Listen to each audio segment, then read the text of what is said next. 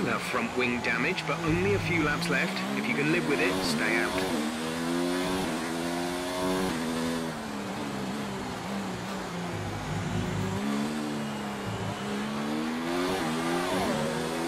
We've only got two laps of fuel left.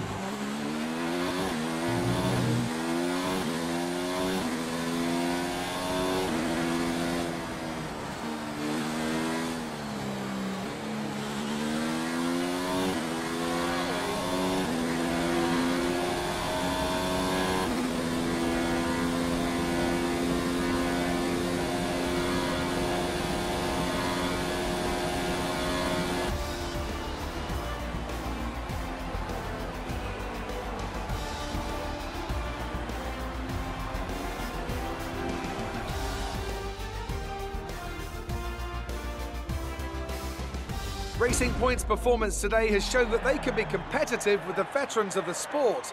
They're making their way out to the podium now as we speak, and the reaction from the crowd must be incredibly uplifting for them.